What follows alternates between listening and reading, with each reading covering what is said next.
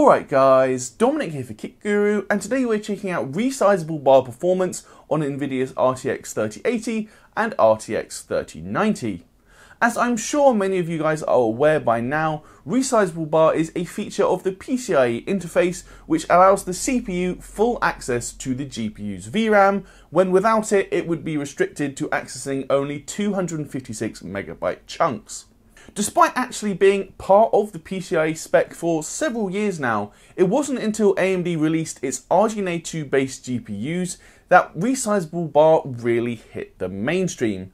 There, AMD called it Smart Access Memory or SAM, and it was available to users with a Ryzen 5000 CPU, and later to those with a Ryzen 3000 CPU. Now though, Nvidia has joined the party. We first saw resizable bar on an NVIDIA GPU with the RTX 3060, but as of the 30th of March, anyone with a 30 series GPU can download the latest driver and a new VBIOS for their GPU and access the technology. NVIDIA also supports both Intel and AMD CPUs, provided you have a 10th or 11th gen Intel Core CPU or an AMD Ryzen 5000 series processor. Interestingly, Nvidia also claims it is actually pre-testing games and only allowing resizable bar or rebar to work in those games as long as it sees a positive performance impact. So that means there's this allow list with currently 17 DX12 games on that list, but Nvidia does tell us it is going to be validating more games and enabling that through future driver updates. In this video then, we are going to be testing five of those games with the Asus TUF RTX 3090 and the TUF RTX 3080 at both 1080p, 1440p and 4K. First we'll test with rebar off and then again with the technology enabled to see what exactly it will do for your gaming performance. All of our testing was done on our regular GPU test system provided to us by PC Specialist. This is based around the Intel i9 10900K overclocked to 5.1 GHz on all cores. That's paired with the Asus ROG Maximus 12 Hero motherboard, and we also have 32GB of Corsair Vengeance DDR4 memory clocked at 3600 MHz. For all of this testing, we used the latest driver at the time of our benchmarking, which was the 465.89 driver. Kicking off with Assassin's Creed Valhalla then, at 1080p we can actually see solid performance improvements for both of our GPUs. The RTX 3080 got a 6 FPS boost from rebar, and that works out as a 6% increase, while the RTX 3090 saw performance improve by 7%, from 98 FPS up to 105 FPS, so it's a decent start here. At 1440p, the margins are again pretty similar, with both GPUs still seeing decent improvements. The RTX 3080 is 6% faster with resizable bar enabled, while the RTX 3090 is now 5% faster, delivering an extra 4 FPS on average. At 4K though, the margins do shrink, especially for the RTX 3090, which proved just 2% faster with resizable bar enabled, and that's a difference of a single frame. The RTX 3080 was 3 FPS faster with rebar, but either way, the difference is hardly significant. Cyberpunk 2077 is next to cover, and at 1080p we are once more seeing a small boost for both of our Nvidia GPUs. The RTX 3080 gained an extra 5 FPS, which works out as a 4% boost, while the RTX 3090 gained an extra 5% performance, up to 131 FPS from 125 FPS originally. At 1440p, however, the margins are more muted.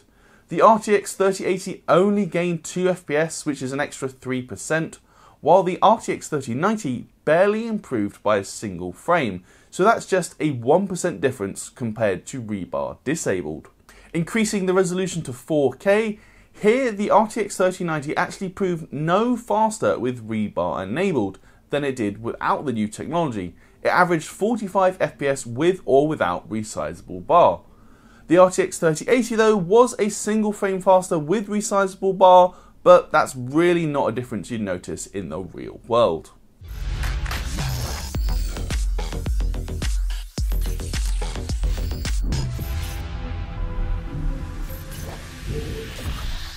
Moving on though, we come to Gears 5, and this is actually one of the games where we see very little difference with resizable bar enabled. At 1080p, the RTX 3080 sees just an extra 2% performance with rebar turned on, while the RTX 3090 doesn't gain anything at all. It averaged 156 FPS both with rebar on and with it turned off. At 1440p, it's much the same. The RTX 3080 does see a small gain, but it's only an extra 3 FPS, moving from 109 FPS up to 112, so it's hardly a game changer. The RTX 3090 also gained an extra 2% here, but neither GPU is really benefiting much from resizable bar. And then as we step up to 4K resolution, the difference comes down to just a single frame improvement for both of our GPUs.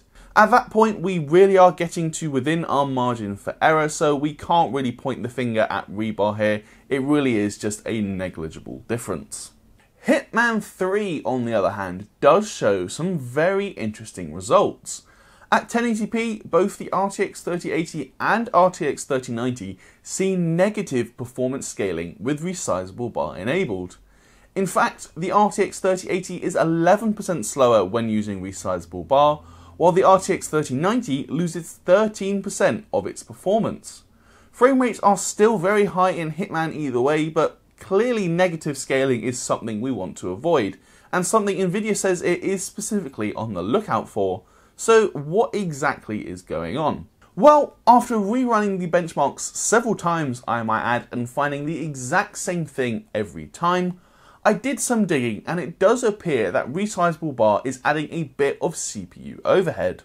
If we compare CPU and GPU utilization side by side, with resizable bar enabled, GPU utilization is generally a bit lower than with the technology disabled, and we can also see CPU utilization tends to be a little bit higher as well, so that certainly does indicate a bit of a CPU bottleneck. This is definitely something I want to look at further in the future as it is potentially significant, especially for those with less powerful CPUs than the 10900K. Moving on to the 1440p data in Hitman 3 though, we can again see negative scaling for the RTX 3090, though this time it's just 5% worse with rebar enabled, so the margin is shrinking. The RTX 3080 on the other hand is now 2% faster with resizable bar, so the performance regression only affected that GPU at 1080p. At 4K, where even the RTX 3090 is now strictly GPU limited, performance is fractionally better with resizable bar enabled for both GPUs. Even then, we're only talking about a frame or two difference, so it's hardly anything to write home about. Finally, we close out with Red Dead Redemption 2, and at 1080p it is fair to say the performance gains from resizable bar aren't actually that bad. The RTX 3090 gained an extra 6 FPS, which is a 5% improvement, while the RTX 3080 also saw an improvement of 4% from 106 FPS up to 110 FPS. At 1440p, it is more or less the same story. The RTX 3080 gains an extra 3 FPS from resizable bar, so that's another 3% improvement, while the RTX 3090 gained 4 FPS, which is a 4% bump.